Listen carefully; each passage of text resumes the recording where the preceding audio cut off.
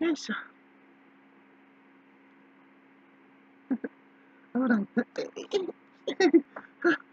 危ないだよー。さーて。これ集中力がアップするのが、ちょっと、これが、これが、すごいして、これやったんです。えーっと、実は、その三木谷構造やったか忘れちゃった。えーっと、三木谷康介こう、浩二か。広か。三木谷博が、もう少し、その、仕掛けるのが、行動を起こすのが早ければ、私が大敗しただろう。っていうのはね、その、まず前提条件から話すけども、前提条件で終わっちゃうかもしれんけどね、時間が。ただ、あの、あの、イベントとかで、あの、ハンドメイド、ホームメイドです間違えちゃった。それホームメイドパイやね。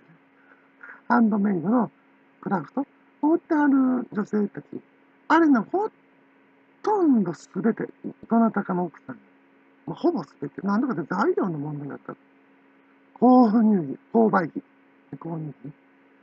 旦那さんが潤沢にお金を渡してくれないと。だから、かなりいい会社に働いてある旦那様の奥様。ほとんどすべて。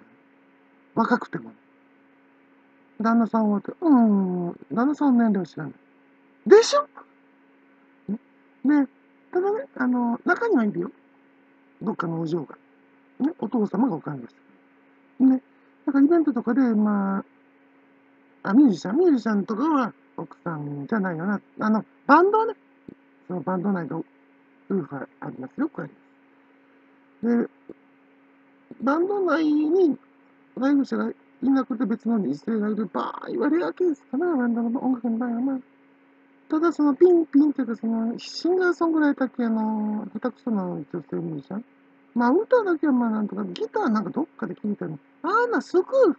歌詞もどっかで聞いたの。スクール系。スクールで習ったストリートミュージシャンを意識した普通のミュージシャン、女の子。まあ綺麗どころ多いよね。よくなんか、結構いいよね、みんなね。あの辺はペーペー。で、プー太郎が多い。だから、あの辺を落とそうと思ったら、もうお金ない頃やから。だから、もう音楽だけはできるかもしれない。したいだけでしょ。彼彼女たちの実力見たらね。してるつもり、つもりくんつか、つもりさん。だけど、その、まあ、いろんな嫌な経験はしてるから、その、それを本当に、あトゲトゲしく歌うタイプの歌が今流行ってる。そんなんが大前提になるからね。で、右谷さんの話なんだけどね。ああ、時間なくなってもうた。ああ